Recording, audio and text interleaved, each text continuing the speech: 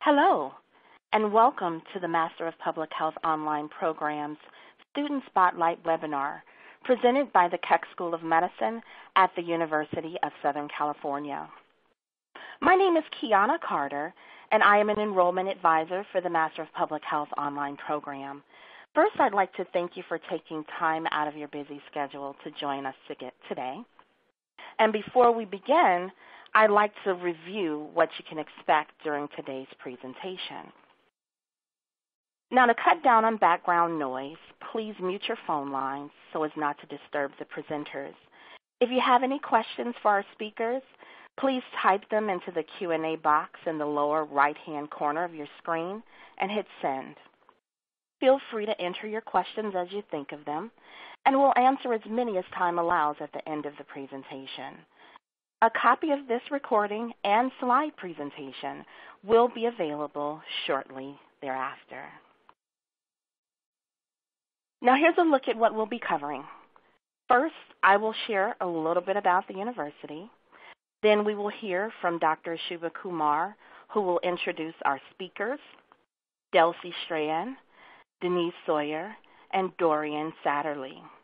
Lastly, we will end the presentation with a brief Q&A session. Don't forget to follow us on Twitter at USC Online MPH.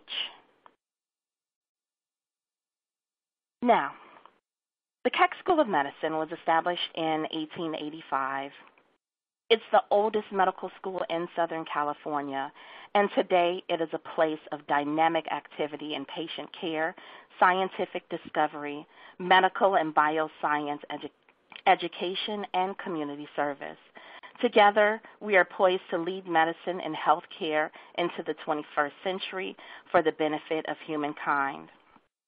The Department of Preventive Medicine at Keck of the Keck School of Medicine of USC is known as a leader in the pub- public health and population health sciences. It's organized into six divisions disease prevention and global health, bioinformatics, biostatistics, cancer epidemiology and genetics, environmental health, and behavioral research. Now, I would like to pass this on to Dr. Shubha Kumar, the program director at the Master of Public Health online program. Thank you, Kiwana. Hi, everyone, and thanks for joining us today.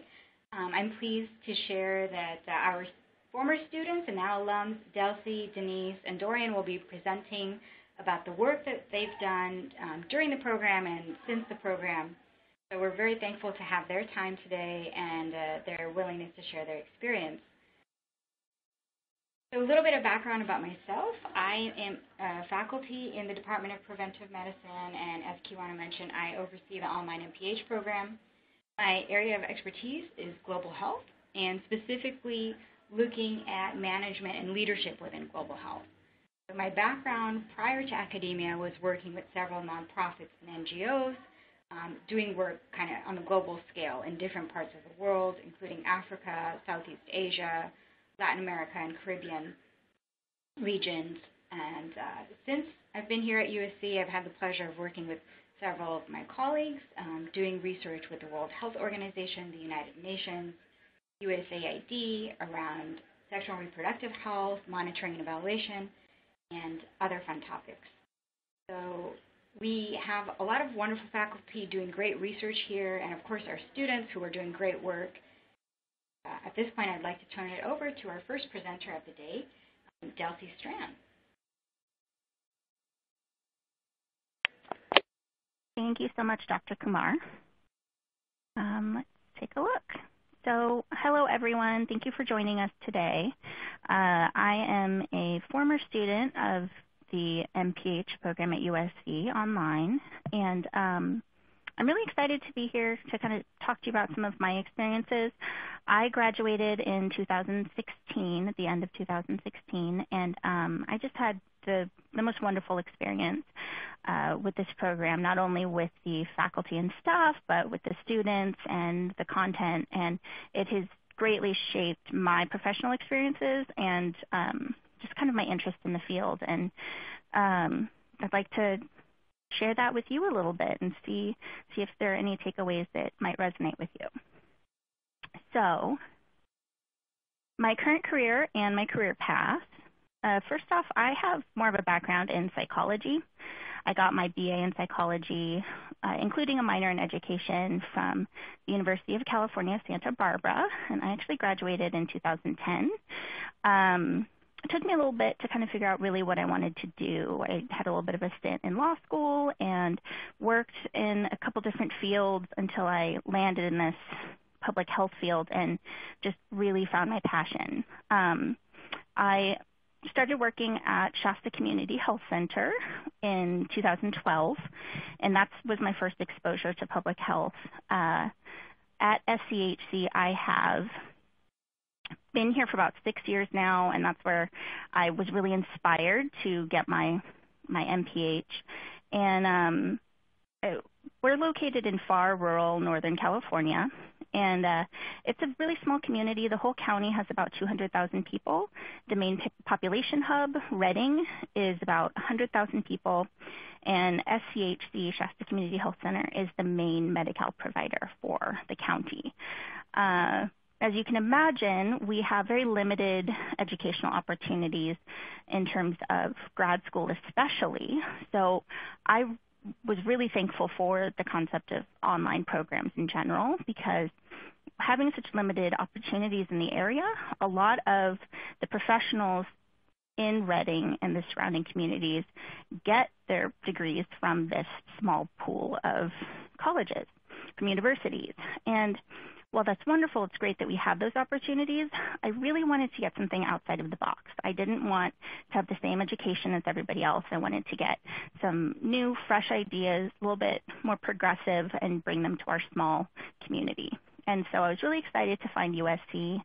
And um, I just fell in love with the program from the get-go. And I really, I got everything out of it that I wanted. And I was very, very, very, am very thankful for this program because I feel like my my level of education in the community has really uh, helped me to stand out, and um, that's really affected my career prospects not only at SCHC but in all of the organizations in our small community because I know most everybody in the nonprofit world, and and you know they know me since we all work together on different initiatives. Uh, so if you're not familiar with the CHES, which is the Certified Health Education Specialist, it is the national credentialing for health educators. And um, this is something that is discussed heavily in the program and something that I really wanted to pursue. So I actually got it midway through my MPH. I took the CHES and became certified. So I was very proud of that. But even more so, last April, I qualified to take the MCHES, which is the master level certification. So I took that and I passed. So I am a newly minted MCHES. Uh, so I've kind of got that, that new certification glow about me. Still, still very proud of it. Uh, like I said, if you don't know anything about the CHESes or MCHESes, I recommend looking into it because it's a anybody that's really looking for that practical application in terms of health education and really getting your, your hands dirty and um, program development, program design, and, and whatnot, that's, that's the way to go. Um, I have also worked quite a bit to find leadership opportunities outside of my, my day job, if you will.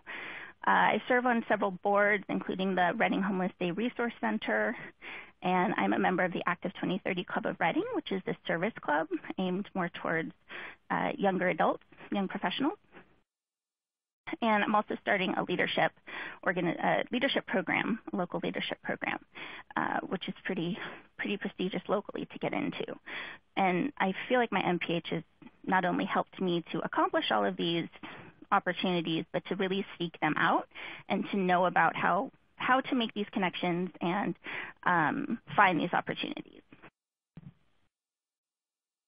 Okay, so my practicum uh, is kind of a, a, big thing that I took on, and uh, for your practicum you have 300 hours to pick a project, and you put those 300 hours towards this project. And I saw this as a really neat opportunity to accomplish something. Uh, I really wanted to have my practicum mean something to me and I wanted it to be something that I was passionate about, and I had a hard time fitting that into 300 hours. Uh, so I kind of did, and I kind of didn't. Um, started with a needs assessment with our unsheltered population in uh, the Redding area and um, found out that we have a wonderful shelter. We have uh, domestic violence services. We have job readiness. We have clothes. We have food. We have all of these things. But what we don't have is easy access to showers and restrooms. So that is the massive project that I took on. Started looking at other programs and, and communities all over the state and the country, really, and um, came up with this mobile shower model. And kind of put some information together, built some steam in the community, held a fundraiser. And the fundraiser was the official end of my practicum project. And we raised over $10,000 to hold a pilot. Uh, so I was very happy to have this money. Then I'm kind of thinking to myself, what next? Uh, the following spring, after I graduated, I continued on with the project and we held a pilot uh, just to test out the model, see if it would work. In that time, we operated once a week on Saturdays, and we provided 369 showers to 136 individual people, and that spanned a, a period of 44 service hours. So I am extremely proud of this project. It's something that I am still working on.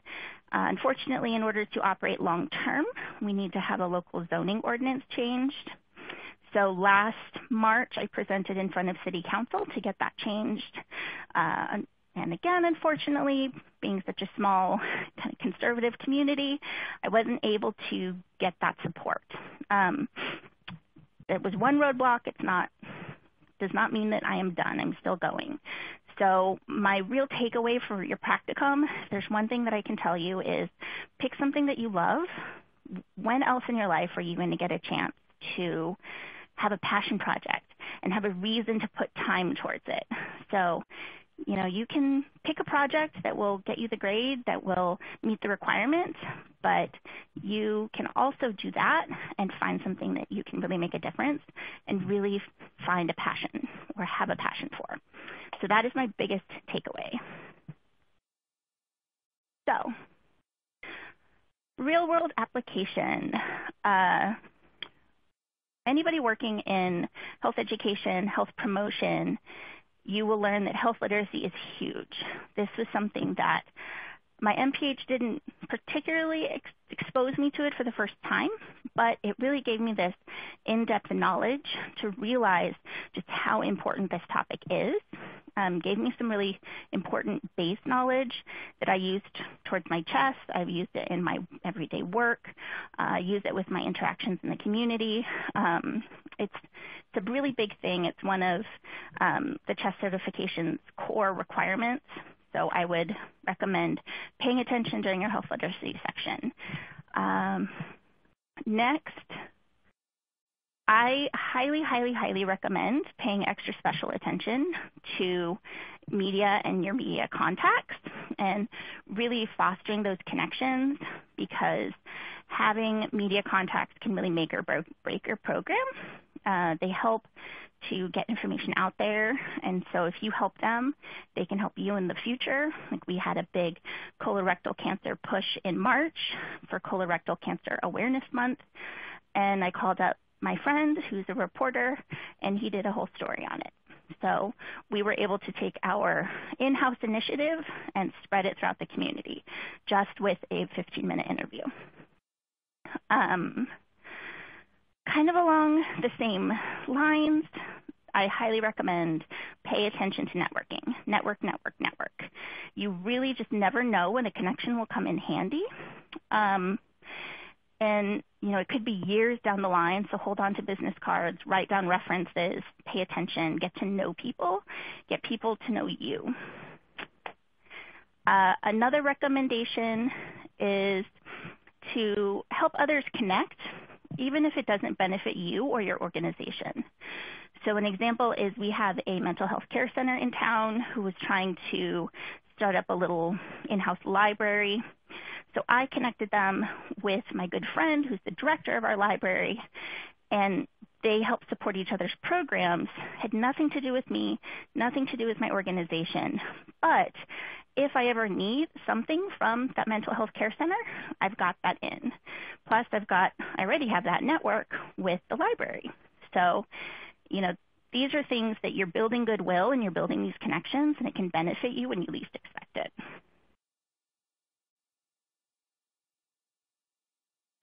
Okay, so my last slide, getting to know your classmates and making friends, I think is my number one tip for success and for survival here. Uh, getting to know your classmates is huge. Yeah, their names on a screen, they might be a kind of a grainy image on a live session, but they're people, they have sense of humor, they have preferences.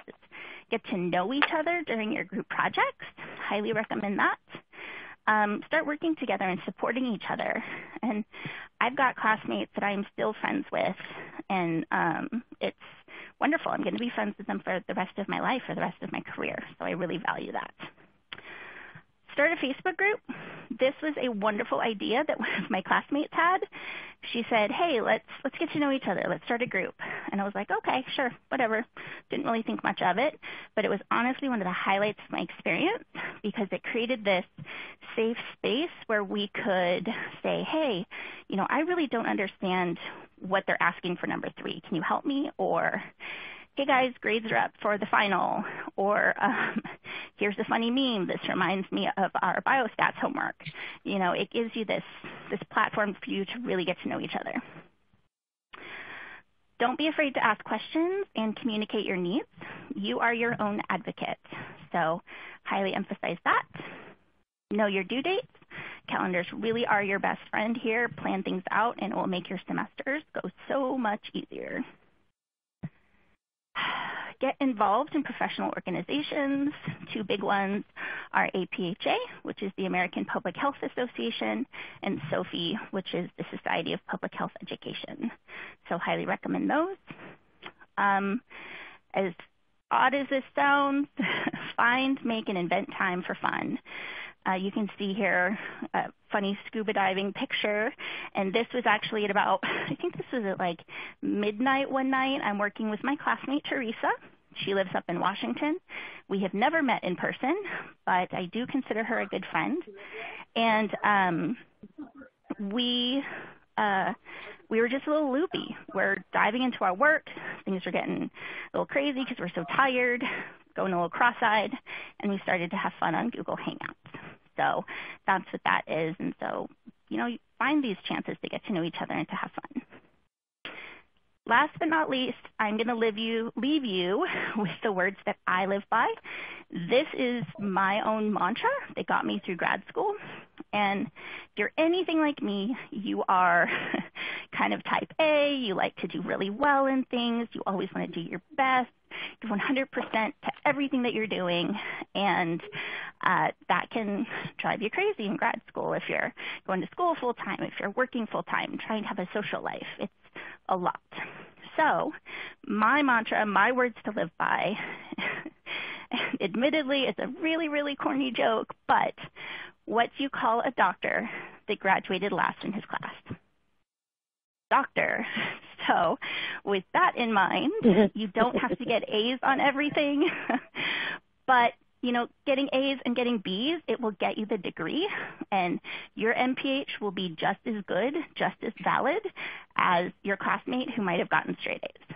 So keep that in mind. I wish you all well. Please don't hesitate to reach out. Find me on LinkedIn if you have any questions. But congratulations on this journey you're partaking or considering because it is so worthwhile. Thanks, guys. Wonderful. Thank you so much, Delcie, for sharing such a personal experience and uh, about your work, your tips for success. Very much appreciated. Next, I'd like to introduce Soyer, who is going to go ahead and share um, about her experience and insights. Yeah. Hi, good afternoon, everyone. Uh, I'm Deniz Soyer. I'm currently a project manager on the Health Information Technology and exchange team at the DC Department of Healthcare Finance. I graduated from the online MPH program in 2017 um, and did the biostat and epidemiology track. Uh, I'm here to talk to you today a little bit about my career progression, uh, briefly about my practicum project from last year, um, a little bit about the work that I'm doing right now, uh, and I'm going to leave you with some thoughts about how to make the most of your grad school experience in this program. Um, so, uh, at first glance, uh, my journey into public health may seem a little bit unorthodox. Um, I did my undergraduate work uh, in political science and theater. So I ended up taking a very different path than most of my classmates.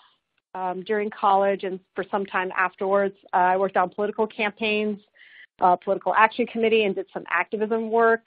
Um, but I really, I wasn't quite sure in my early 20s what I wanted to do and whether I wanted to do that for a career.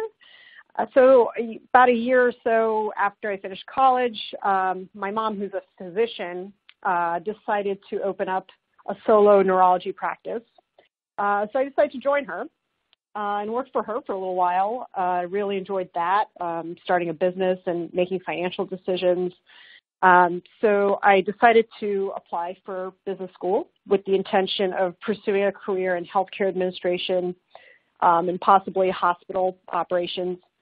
So I supplemented my core classes in strategy, finance, and accounting with um, electives in health services delivery and financial applications.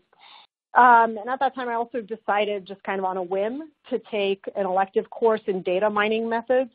Um, and this class really changed my outlook on healthcare and the work I wanted to do. Uh, so at this point, I started wondering how data and analytics could be used to identify inefficiencies in healthcare and inform policy decisions.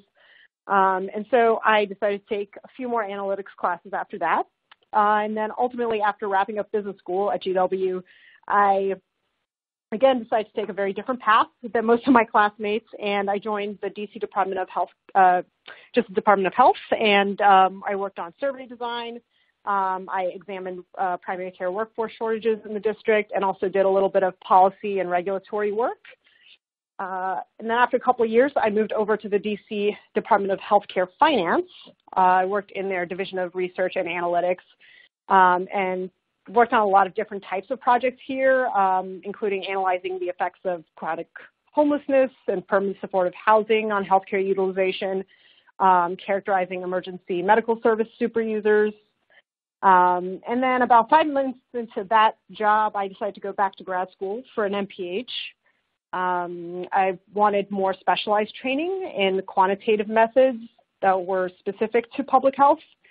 And I chose USC um, because I felt that it would help me achieve my goals of furthering my public health education through specialized biostatistics and epidemiology coursework that was offered through the online program. Um, I chose biostatistics because I really enjoy examining trends and discrepancies. Um, it was kind of similar to the work that I was doing. Um, and then having the program online also allowed me to continue working full time. I'm still at the Department of Healthcare Finance, uh, but about 16 months ago, I moved over to another division that works specifically with health information technology and exchange in the district. Um, and about one month into that position, I started working on my practicum all at the same time. So the Department of Healthcare Finance, where I work, has signed a data sharing agreement with the Department of Health. And I knew some of the epidemiologists there, and I had never worked with them before but wanted to. Uh, so I proposed for my practicum project to work with that team specifically um, to analyze HIV outcomes in surveillance data within the Medicaid population. So this was an opportunity for me to do a side project working with claims data, which I sadly don't do uh, much of in my current role and it was something that was relevant to my coursework. So for my practicum, I was supervised by an individual at the Medicaid agency that was not my current boss, and the work was and is unrelated to my current role at the agency. So I ended up working with the chief epidemiologist at the DC Department of Health um, in their HIV, AIDS, hepatitis, SP, and TB administration. And together we conducted an analysis of HIV positive Medicaid beneficiary claims to investigate the relationship between um, healthcare utilization patterns, which are found in claims, and healthcare outcomes, such as viral suppression, which are, find, uh, which are found in, um, in surveillance data. So from my practicum experience, I wanted to develop an increased understanding of surveillance data. Um, I want to collaborate more with stakeholders to develop data sharing standards. Um, and then I also did a little bit of research, um, conducted a literature review, um, and um, that's the only way I knew that she was ahead. Is I looked over and I was like, "They don't know." Um, I'm kind of hearing some. I'm hearing somebody's voice in the background. I don't know if everybody is on mute. Um, so uh, through my practicum, I wanted to collaborate with stakeholders and develop new data sharing standards. Um, and then I also developed an abstract working with my supervisor um, and did a poster presentation um, at the National Sexual Health Conference. So that was pretty cool. Um, and I'm happy to answer any specific questions about my practicum offline or during the Q&A portion. Uh, but for now, I'm going to go ahead and move on to what I do currently. Uh, so the DC Department of Healthcare Finance you know, um, not only serves as the district's Medicaid agency, it also serves as the state health IT coordinator. Um, and those functions are undertaken by my division. So I started working here because as much as I like research and I like data, I like strategizing and building things. Uh, and health information exchange is a way for me to combine both of those passions. So I want to kick off with a couple of few facts about the uh, about the DC Medicaid program. Uh, we cover 40% of district residents, including 7 out of 10 kids. Um, we do pretty well in terms of covering the population. We rank third in terms of uh, uninsurance. Uh, we also have one of the largest budgets in uh, the District of Columbia government. And in our capacity as the state health IT coordinator, uh, we administer the Medicaid EHR incentive program. Uh, we facilitate funding from CMS, uh, which is the Centers for Medicare and Medicaid Services at the federal level, to support health IT projects at the local level. Um, and also, we fund infrastructure that will uh, be used by uh, Washington, D.C. providers and district residents. Uh, we also do health IT strategy development, um, and uh, we also do a lot of stakeholder outreach uh, through um, the HIE Policy Board, whose members are elected um, uh, or uh, through the mayor. Um, so I wanted to start off just very quickly setting some, doing some level setting and actually defining what we mean by health IT and health information exchange. Um, health IT uh, refers to the programs and services, technologies, and concepts um, that um, are used to store, share, and analyze health information. Uh, a very good example of health IT is the electronic health record. And then there's health information exchange, and there's a verb and there's a noun.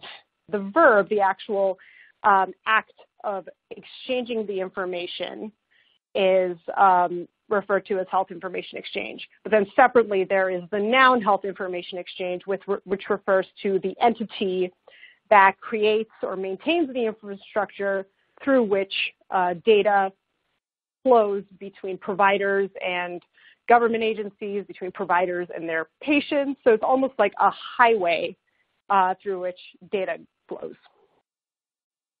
Um, so my role in all of this is uh, we're tasked, my division is tasked with solving a very particular problem in the district.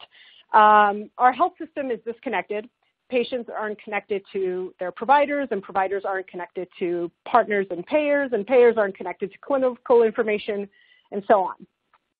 So the solution is a health system that is connected to allow providers to communicate with each other across care settings um, to deliver patient-centered and data-driven care. Um, we really see health IT as an enabler. We don't see it as the end goal, right? It's, it's not the thing that you build.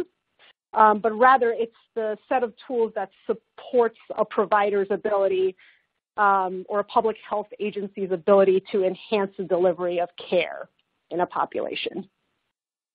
Uh, so how are we going to get there? Uh, my team has a plan. Uh, one of the projects that I've been spearheading is the 2018 State Medicaid Health IT Plan, and this um, articulates the district's health IT strategy and goals um, and presents a pathway to achieving these goals uh, based on a timeline of proposed projects and programs. Um, and what we wanted to do was create a reader-friendly document that provides a concrete vision um, on how we're going to build on existing infrastructure and how we're going to expand on meaningful use of health IT tools. Um, and most importantly, we wanted to create a document that was useful not only to us, but to stakeholders and residents around Washington, D.C. Uh, the heart of the document is the roadmap section, which describes the path um, to expand and better utilize health IT and HIE in the district. Um, so you'll see kind of what we'll be working on between now and fiscal year 2021. Um, this year we've done a lot of foundational work, such as supporting small practices to getting connected through um, uh, the EHR incentive program. Uh, we've been funding technical assistance to help them achieve meaningful use. Um, we also awarded a grant uh, to CRISP, which is one of the district's HIE entities, um, and they've uh, developed free HIE tools using this funding, including a patient population dashboard, electronic clinical quality measurement tool, um, a patient care profile, which displays demographic data and recent hospitalizations and ER visits and medication lists, um, all in one place. So what we're continuing to do is getting more providers to use these tools within their existing workflow um, and make uh, improvements to the infrastructure itself. Um, so I'm happy to talk to you more about uh, the work that we're doing um, offline or answer questions afterwards. Um, but at this point, I'd like to leave you with some thoughts about getting the most out of your MPH program. Um, so first of all, uh, be honest uh, to others, yourself, and about your work. Um, I think this is, in some ways, it's a no-brainer, um, but sometimes it's just uh, good to reiterate. Um, second, really take the time to get to know your classmates. Um, I know Delcie said this during her uh, presentation, um, but these are not just the people that you do school projects with. This is really the start of you building your USC network. Um, so really take time and invest in those relationships. Um, third, I would recommend finding a mentor and going to different conferences. Um, in subject areas that interest you. You don't necessarily have to know exactly what you want to do in life um, or what you want to do you know, after this program. Um, so make sure that you're kind of getting out there and um, seeing what opportunities are available to you. Um, and use your time in grad school wisely. Um, it's a financial investment. It's really hard work. So make sure that you're getting the most, um, getting out of it what you intended to get out of it when you first started. Um, and be flexible, be open to new opportunities and directions. Uh, and if you have any questions, uh, always feel free to reach out to me. Uh, find me on LinkedIn. Um, I'm always always happy to always happy to chat, even if I'm on the East Coast. Um, that's what Skype is for. We can always chat. Uh, so thanks so much for having me here today. Wonderful. Thank you so much, Deniz, for sharing your experiences and uh, your your honest uh, feedback and input for um, prospective and, and current students. Next, I'd like to turn it over to Dorian Satterlee. Hi. So I am Dorian Satterlee, current student at the USC MPH online program. And I'll get right into it. Um, I started my career path, my current career path, um, by enlisting in the Coast Guard and I became a marine science technician. And this is the rating that really carries out the environmental protection mission of the Coast Guard. Uh, I've spent about a month and a half working as a federal on-scene coordinator for two task forces down in the Gulf of Mexico uh, during the Deepwater Horizon oil spill. And I spent seven years in the Coast Guard and started working on my Bachelor of Science in Environmental Management with the University of Maryland University College, which is the University of Maryland's online college. And I started that while I was still in the Coast Guard and completed it after I got out of the Coast Guard, um, which I did following after my son was born. Um, after I completed my bachelor's, I started working for Jefferson County Public Health in Jefferson County, Washington. I around the same time started the MPH program at USC. Uh, my hope is to use that MPH to advance with Jefferson County Public Health, possibly move to the state level with the Washington State Department of Ecology, whom I worked alongside with both while in the Coast Guard and at the local level at Jefferson County. And someday I would love to work in industry or possibly academia. But my options are open. um, and I just wanted to share a couple of pictures um, with you from my time in the Coast Guard. And my slideshow is not advancing. Okay. Um, as a marine science technician, like I said, pollution response was our bread and butter. Um, these are just a couple of pictures from my time. Boom deployment training. Uh, the picture on the right is the aftermath of a multiple yacht fire. That same fire uh, around the corner from that is this nesting swan. Uh, some other stuff we had to be aware of during environmental response. Um, and that poor thing was probably scared to death of all the fire trucks and all the commotion around it, more so than the oil itself. And then uh, the picture on the right there is a marine diesel spill that I responded to while stationed in Seattle. Um,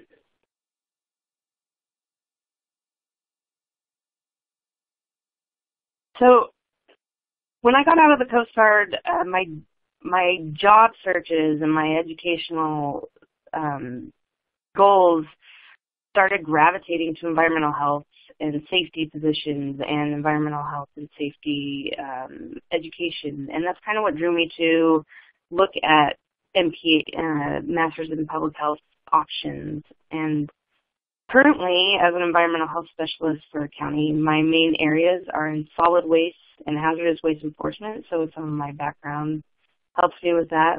But um, also do food inspections and pollution prevention. Solid waste enforcement involves permitting landfills, transfer stations, and our local biosolids facility, but most of my time is spent on residential violations of solid waste, and there's a lot of crossover between environmental health and community health when you deal with some of these. Um, you've got hoarders, illegal junkyards, rural residents that don't really have trash pickup, and that kind of thing. Pollution prevention is something I work on with small businesses that have hazardous waste streams, um, but in small enough amounts that they aren't inspected by the state. I act as technical assistance, so there's no enforcement at my level, so I can refer businesses to the state if they are violating any laws. And food inspections are kind of the more well-known side of the local jurisdiction environmental health office, at least here in Washington, and they're pretty self-explanatory. The picture on the right is me in front of bags of oyster shells because we deal with a lot of um, commercial producers of shellfish up here in Washington.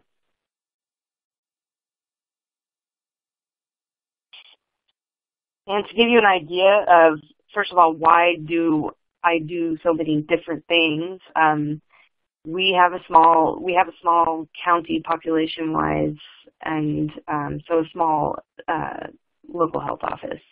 Uh, the Jefferson County itself has a population of about 28,000 people. That's 16 people per square mile.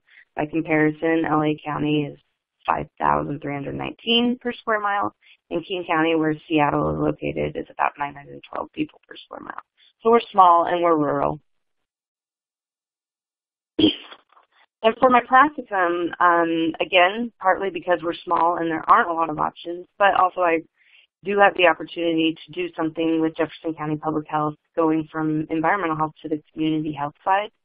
And it would be working on our community health improvement plan, specifically working with rural youth on an intervention program that kind of grew out of the Washington state's mandate for marijuana prevention education for youth.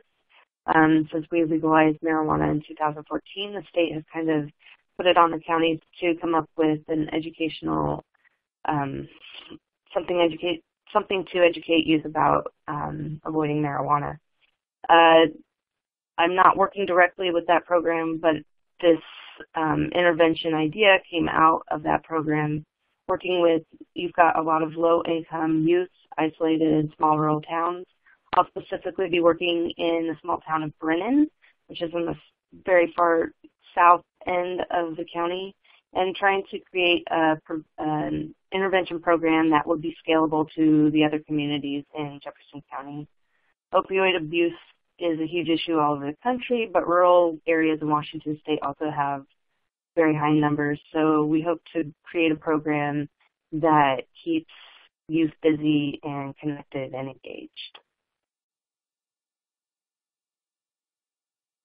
And this is some pictures of Brinnon, and there really isn't much more to it than that. That's um, the community center and the school, and then they've got you know a, a gas station, a couple general stores, and then it's a pretty rural residential area.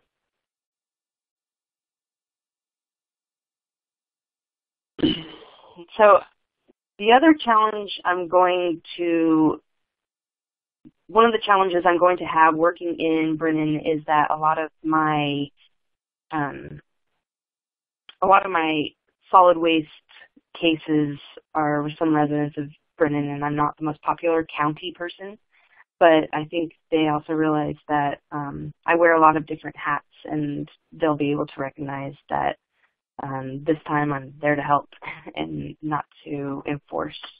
Um, and then other challenges are going to be scheduling and accommodation. I think working with my current employer, but under a different um, department, they'll at least have an idea of what I need um, on both sides for scheduling.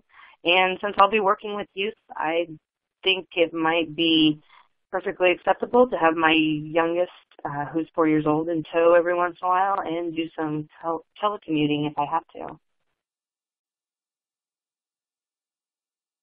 And one of the takeaways I've gotten from the MPH online program is uh, it doesn't doesn't seem like you'd have a lot of chances to engage with your classmates or the or the staff at all. But um, I've been I've been pretty good about following them on the different uh, social media platforms, Facebook, um, Instagram, and Twitter. And I recently won a Twitter or a social media contest during National Public Health Week back in April by just posting with hashtags related to public health and the MPH online program at USC. And I got some free swag, including my um, second mug from USC school, um, Keck School of Medicine, so that was pretty cool. But there are lots of ways to get engaged um, with other online students, and social media is a big one. Um, I've definitely friended some of my classmates on Facebook, and am looking forward to meeting them at commencement. And thank you so much for your time, and I will be happy to take any questions.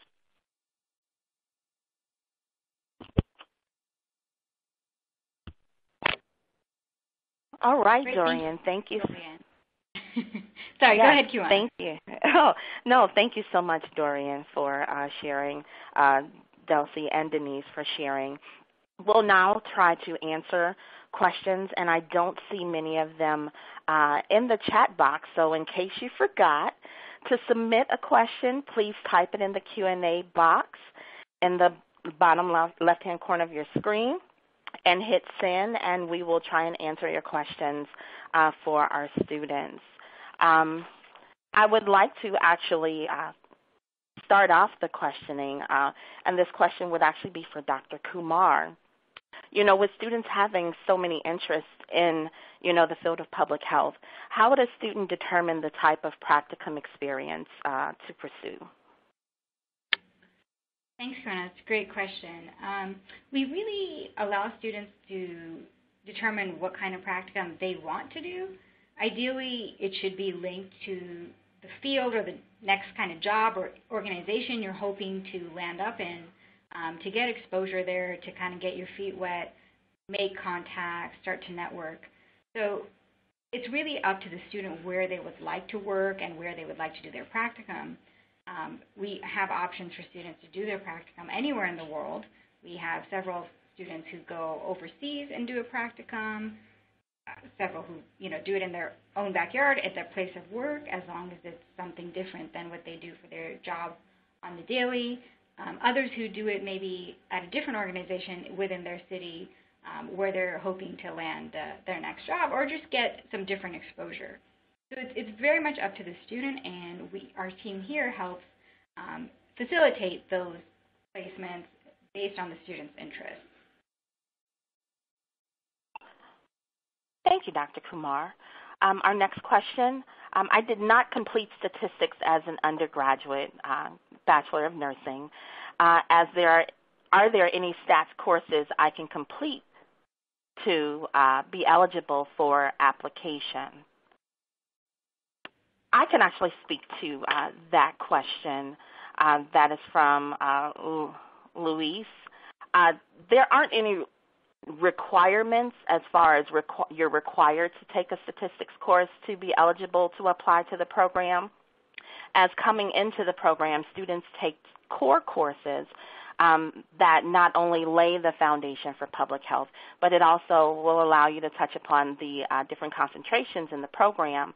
So you're not required to take a statistics course. Of course, if you have some background, it, it, can definitely help you, but it's not a requirement. So if you are interested in applying to the program, uh, please reach out to your advisor or we'll have your advisor reach out to you uh, following this presentation to discuss the uh, application requirements as well as the program and hopefully get you set up for the upcoming fall.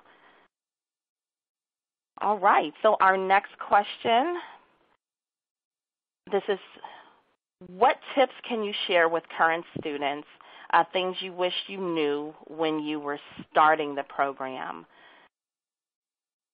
Is there anyone that would like to start that, uh, that conversation? Um, if we can, maybe answer it in the order that uh, you spoke. So Delcie, would you mind answering that question first? Absolutely. Um, I think my biggest concern when I started was how am I going to manage everything? Like how am I going to fit everything in? There's so much. There's only so much time in a day, and um, one thing I'd like to to say is that your your body, your circadian rhythm, your your schedule will adjust.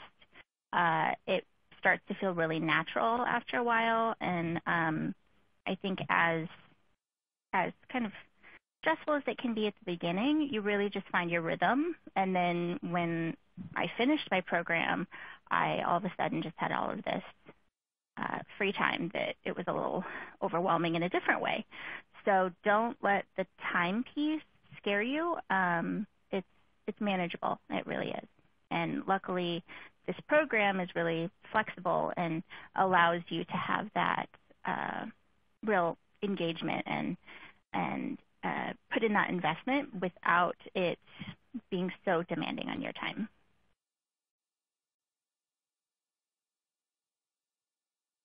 Um, this is Deniz. Um, so for me, uh, I had the benefit of this being my second round of grad school. Um, so I think I was a little more prepared this time um, in terms of being a little more disciplined with how I balanced work and school and um, sort of scheduled everything out. Um, I think one thing that helped me is the fact that I was on the East Coast. Um, I would be able to go to work, and then a lot of my classes were uh, quite late on um, on the East Coast side. So I, I would have classes at uh, 8 p.m. my time or 9 p.m. my time. Um, so I actually had a little bit of time to myself in between coming home from work and uh, doing classwork or going to class. Um, so that seemed to help. Um, and I had a very similar experience post um, post uh, MPH um, as Delcie did. Um, you just suddenly find all this time on your hands after you graduate, and you're like, you know, you're almost stressed out because you don't know how you're going to fill up all this time that used to be taken almost completely by schoolwork or um, or your professional life.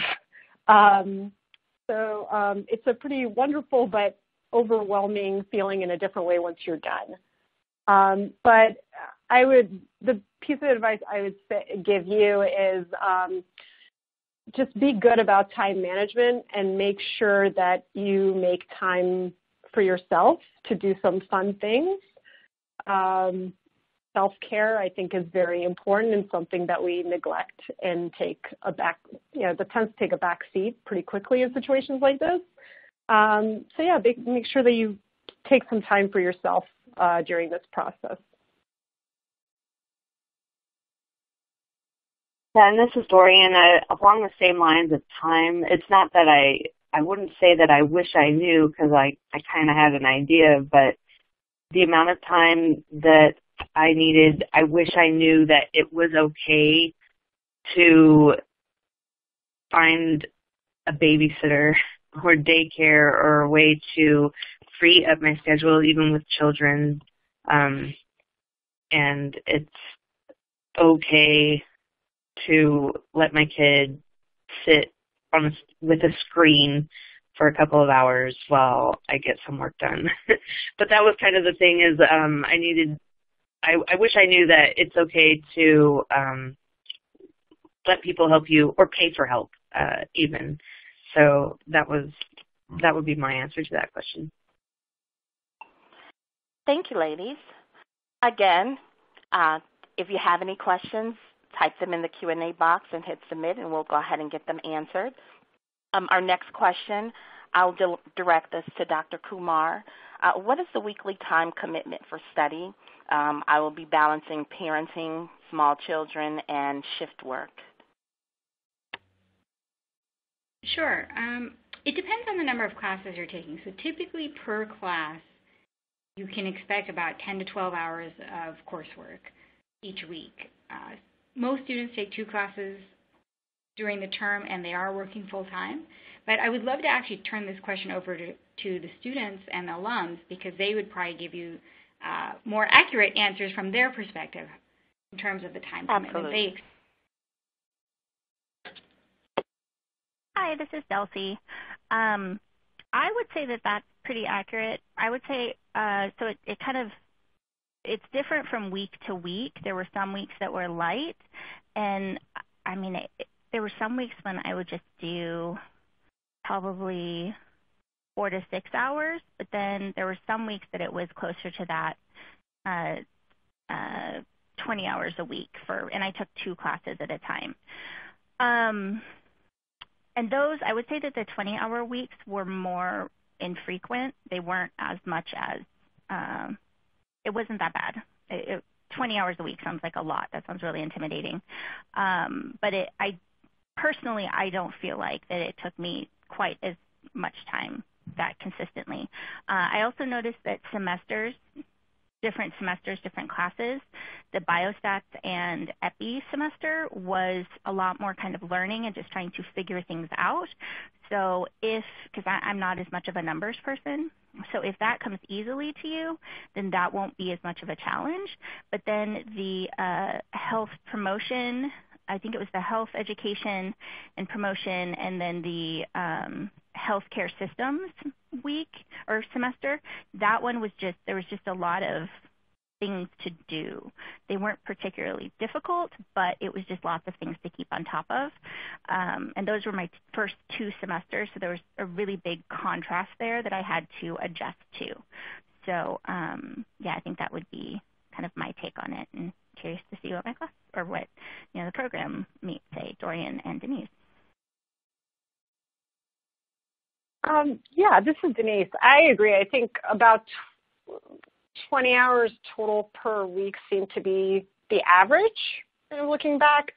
Um, and that's going to fluctuate from week to week depending on the assignments that you have, the amount of reading you have to do, um, and I remember the reading is designed in such a way that you do have to read in order to make educated comments in um, uh, the uh, uh, on the weekly uh, commenting assignments. Like usually it'll be like a, from what I remember, uh, questions based off of the reading where you really have to reflect on what you read and then be able to think critically um, about it. Um, and then with the quantitative stuff um, on, on the initial, uh, like the biostat core class didn't take me too much time. I had already um, learned how to use uh, SAS and SPSS in previous coursework and then also professionally. Um, so uh, that piece of it wasn't hard, but then as we got more to the EPI and biostat track courses, that's when uh, the coursework really picked up for me and I had to dedicate a lot more time. So it'll fluctuate from week to week and then also to semester to semester depending on what your skill set is and what your interests are.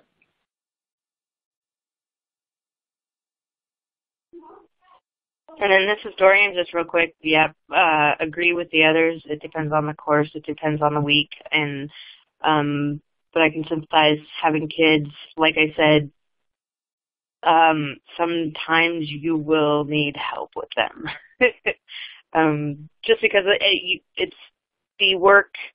Um, what I found um, was I couldn't I couldn't wait to do everything on the weekend. I wanted to make sure I got reading done during the week. So um, if you're juggling kids, I can sympathize and don't be afraid to ask for help.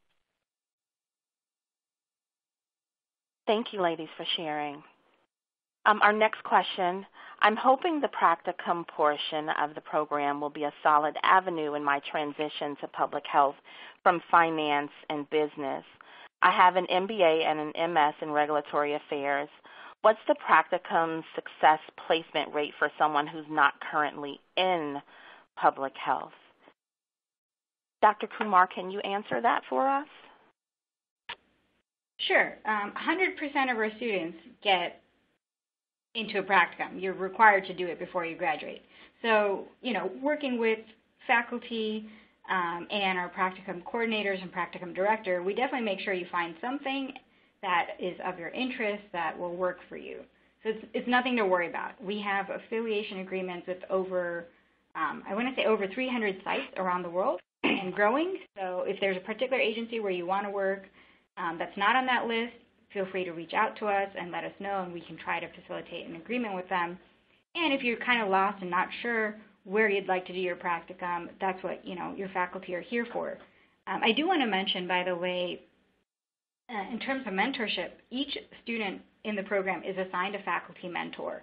So that person's really there to kind of help guide you throughout your time in the program in terms of big picture questions, what should I do for my career? I'm kind of not sure which track I want to do. I don't really know what practicum I want to do, or I'm kind of trying to decide between X and Y. Um, that's really where you can turn to your faculty mentor to get some of those questions answered, and also for their kind of network and support.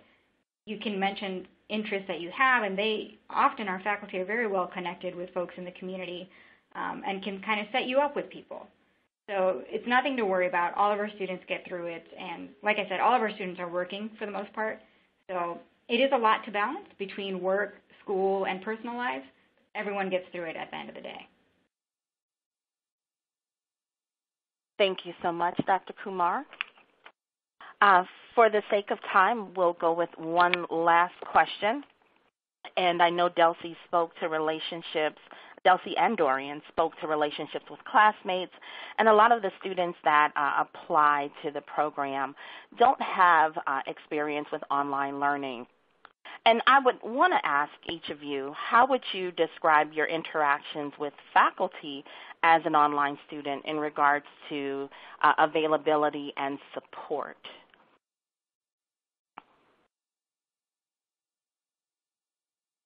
Hi, this is Delcie. Um, I would say that the faculty and staff were very available, very supportive. You know, I think it's just like with any schooling experience, you will find professors that you will click with more than others. And um, it, it, to me, it was very similar to my undergrad experience as it was to my, you know, they they were just very comparable, even though, uh, even though they're, you know, one was virtual and one was in person.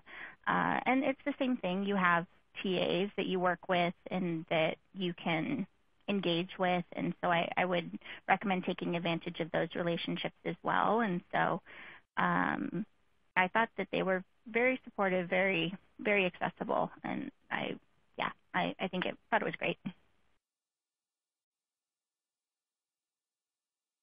This is Dorian. Yeah, I agree. uh, I had great access. Go ahead. Oh no, please go ahead. I'll go after you. Yeah, I was just going to say I agree. We I had good access when I needed it. Um, very in in all areas, whether it was class uh, needing help with a specific subject or talking to an advisor or um, ah, I need to talk to someone about a practicum because I'm up here in the middle of nowhere. Um, there's always somebody available who could help me and calm me down. Yeah, this is Deniz. I had um, I had a similar experience. Uh, I think uh, faculty was super responsive over email, um, as were the TAs. Um, and then I, I, also had meetings with faculty members via Skype. Um, so that was always helpful um, if I was stuck on an assignment or um, I just had additional questions. if I had kind of career advice questions, I had Skype meetings for that. So um, uh, yeah, I would agree. Faculty and TAs um, and program staff, they're there to support you. Um, so uh, they're a wonderful resource. So please use them. Thank you, ladies. I want to thank Dr. Kumar uh, and also thank Delcie, Deniz, and Dorian for sharing your experiences with us today. And I also like to thank everyone who participated in today's Student Spotlight webinar. A copy of this recording and slide presentation will be available shortly after. And this concludes today's webinar. Thank you again for joining us today and have a great rest of